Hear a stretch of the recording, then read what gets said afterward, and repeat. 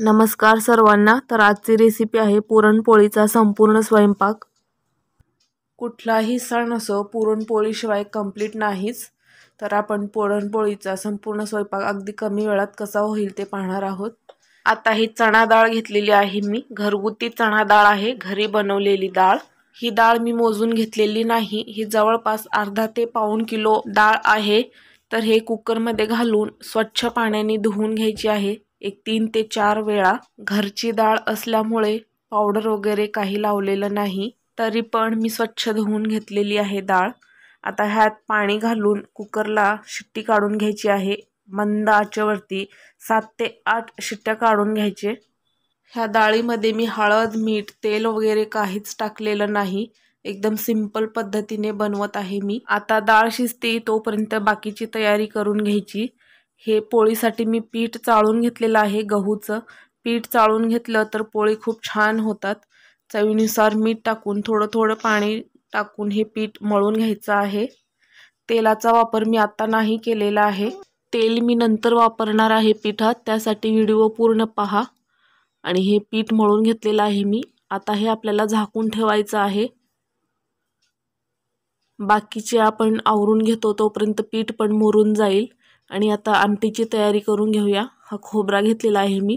खोबराचा जो काळपट भाग असतो तो मी सोलून काढलेला आहे. तुम्ही नाही काढला तरी चालेल.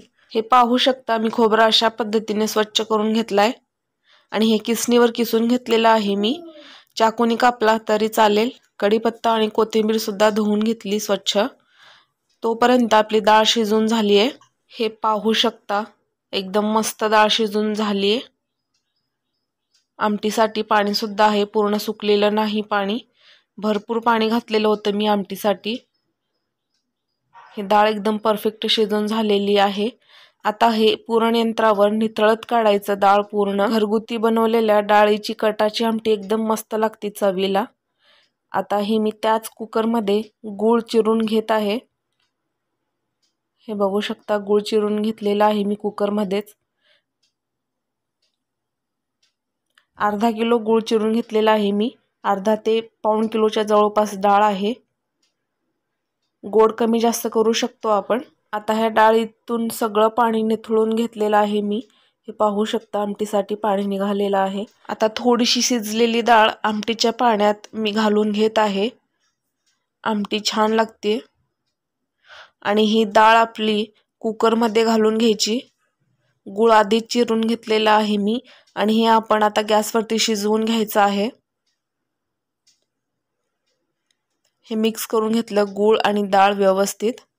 आणि हे शिजतंय तोपर्यंत मी हे भजीचं पीठ भिजवून घेत आहे.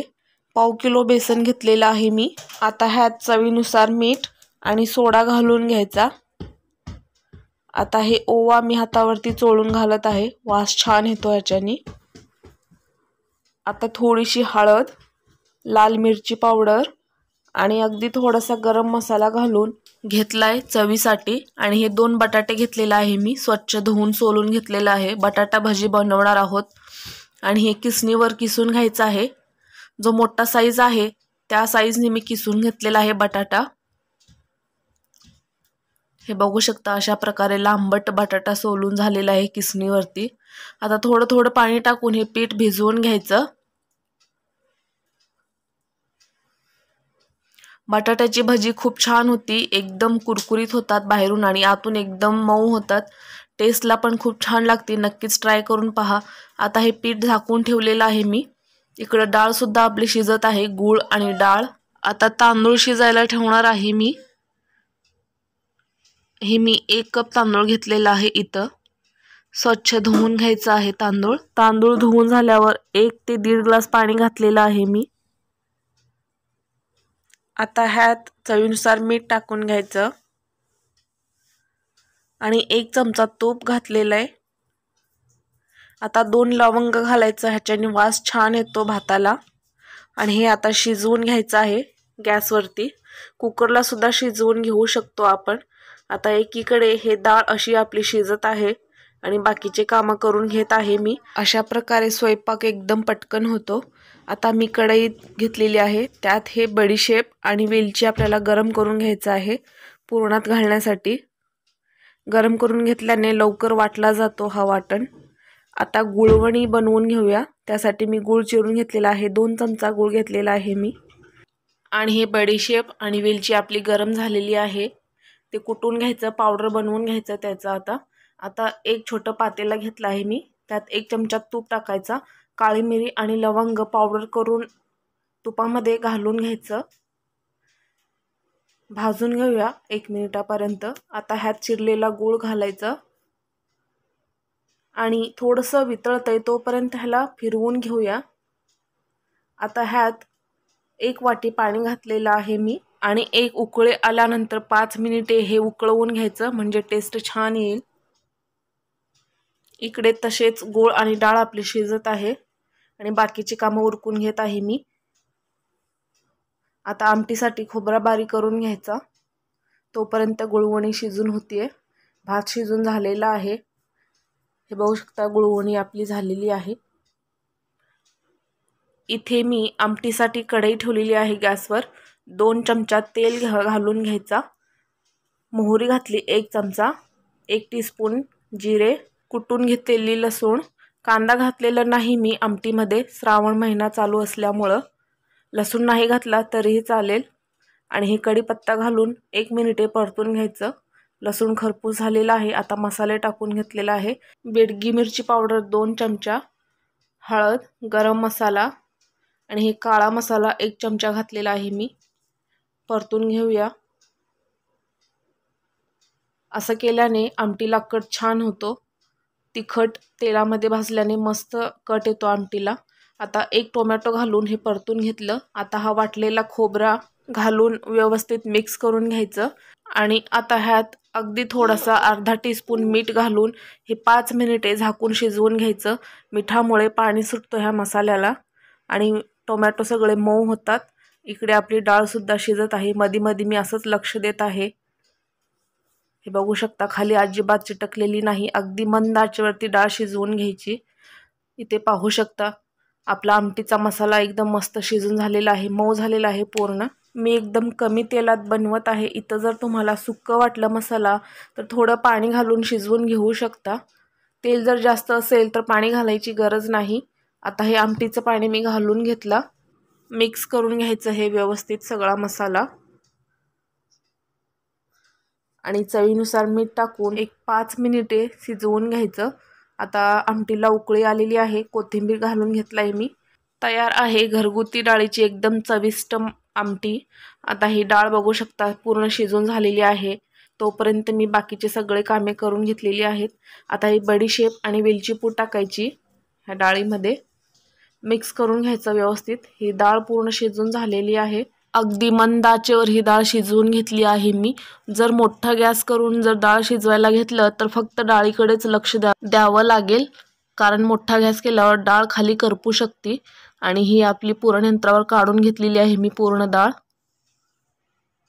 हे पूर्ण झालेलं आहे. बघू शकता अजिबात कुकरला डाळ चिटकलेली नाही. हे पुरण वाटून झालेलं आहे. आता ह्यात जायफळ पूड टाकायची. चवीसाठी मस्त असं वास येतो जायफळ पूड टाकल्याने. आणि आता पोळी लाटायला घेऊया आपण. हे मळून ठेवलेलं कणिक घेतलंय मी. आता ह्यात अर्धी वाटी तेल मुरवून घ्यायचं आहे आपल्याला. ह्या पिठात दहा पोळ्या होतात. दहा पोळ्यासाठी मी अर्धी वाटी तेल घेतलेलं आहे. आणि हे पाच ते सहा मिनिटापर्यंत कणिक मळून घ्यायचं आहे तेल टाकून. संपूर्ण तेल टाकलेलं आहे मी. अशा प्रकारे पीठ मळून घेतल्याने पोळी अजिबात कुठेच फाटणार नाही. जेवढं पुरण भरल तेवढी पोळी सरकेल. तर अशा पद्धतीने नक्कीच ट्राय करून पहा. बघू शकता मी किती पीठ मळून घेतलेलं आहे. आणि एकदम लवचिक असं गोळा तयार करून घेतलेला आहे मी हे पाहू शकता. आता ह्या पिठामध्ये आपल्याला जेवढं पुरण पाहिजे तेवढं आपण भरू शकतो. अजिबात फाटणार नाही पोळी. हा मी पीठ मळून घेतलेला आहे. पोळी लाटायला घेऊया. आता ह्या पिठामध्ये मी मैदा वगैरे अजिबात काही वापरलेलं नाही. फक्त गहूचं पीठ आहे. तुम्ही जर नवीन शिकत असाल तर नक्कीच अगदी थोडासा मैदा टाकायचा. जास्त टाकायचा नाही. जर पीठ जर चांगलं असेल चिकट असेल तर टाकायची काहीच गरज नाही. आणि इथे मी सर्वात आधी देवासाठी नैवेद्य बनवून घेत आहे. हे बघू शकता पोळी अगदी हलक्या हाताने लाटून घेत आहे मी. आणि हे आता भाजून घ्यायचं. थोडंसं तूप टाकून. हे पाहू शकता अगदी टम्म अशी पोळी फुगलेली आहे. अजिबात कुठे चिरली सुद्धा नाही. हे पाहू शकता पोळी कशी एकदम मस्त फुगलेली आहे. तूप टाकून घेतला मी एक चमचाभर. हे बघा अगदी कडेपर्यंत पोळी फुगलेली आहे. आता मी अजून एक मोठी पोळी लाटून दाखवते. एक कणकेचा गोळा घेतला आहे त्यात दोन ते तीन पट पुरणाचा गोळा घेतलेला आहे मी. कणकेची पारी करून घ्यायची पुरण भरण्यासाठी. हे पुरण ह्या पारीमध्ये भरून घ्यायचं अशा पद्धतीने. अगदी सहज भरला जातो. कणिक एकदम छान मळून घेतलेला आहे मी त्यामुळे. हे भरून घेतलेलं. अशा प्रकारे राहिलेला पीठ तोडून घेऊ शकता किंवा तिथंच दाबून घेऊ शकतो आपण. आता हे सुक्क पीठ लावून थोडंसं असं हाताने पसरवून घ्यायचं. आणि अगदी हलक्या हाताने ही पोळी लाटून घ्यायची. हे पाहू शकता अगदी कडेपर्यंत पुरण पसरलेलं आहे. किती मोठी पोळी लाटलेली आहे मी. आणि हे शेकून घ्यायचं आता. पोळी टाकताना गॅस फुल्ल करायचा आणि पोळी टाकून झाल्यावर गॅस मिडियम करून ही पोळी भाजून घ्यायची. आणि पोळी उलटल्यावर गॅस फुल करायचा. हे बघू शकता पोळी कशी फुगते अगदी कडेपर्यंत. तूप टाकून घ्यायचं. तुपामुळे पोळीला चव छान येतो. तेल टाकला तरी चालेल. तर अशा पद्धतीने कणिक मळून पोळी जरूर लाटा. अजिबात पोळी फाटणार नाही कुठेही चिरणार नाही. जेवढी पोळी लाटाल तेवढी पोळी सरकेल. तर ही पोळी भाजून झालेली आहे आपली. आता मी सर्वात लास्टला भजी तळून घेणार आहे. हे पाहू शकता बटाट्याची भजी आहे कांदा वापरलेला नाही. कोथिंबीर घालून घ्यायची थोडीशी. मिक्स करून घेतला व्यवस्थित. आणि इथे तेल गरम झालेलं आहे. आता ह्यात सर्वात आधी मी पापड्या तळून घेते. हे पाहू शकता पापड्या एकदम मस्त फुगलेल्या आहेत. पापड्या तळून घेतले मी सर्व. आणि आता हे भजी तळून घेऊया. अशा प्रकारे पीठ बनवलेलं आहे. मी थोडंसं हे पीठ बनवायचं. म्हणजे भजी मस्त होतात. बाहेरून कुरकुरीत आणि आतून एकदम मऊ असती. खायला एकदम टेस्टी कांदा न वापरता बटाटा घालून नक्कीच एकदा ट्राय करा. भजी मी तळून घेतलेलं आहे. हे पाहू शकता कलर पण मस्त आलेला आहे. श्रावण महिन्यामध्ये आपण बटाटा वापरून किंवा कोबी वगैरे वापरून आपण भजी बनवू शकतो. इतर वेळेस तर कांदा भाजी बनवून खातोच आपण. तर अशा प्रकारे नक्कीच ट्राय करा. हे पाहू शकता बाहेरून अगदी क्रिस्पी झालेले आहेत. अशा प्रकारे सर्व भजे तळून घेतले मी आणि इथं आता पूर्ण स्वयंपाक तयार झालेला आहे. आता ताट वाढून घेऊया. ही कटाची आमटी किती दाटसरपणा आलेली आहे मस्त झालेली आहे आमटी एकदम कमी तेलात. दूध वाढून घेतला मी. त्यात आता गुळवणी घालून घ्यायची. एक चमचा साजूक तूप टाकायचा. घरी बनवलेला तूप आहे हा. आणि ही बटाटा भजी पापड वाढून घेतलाय.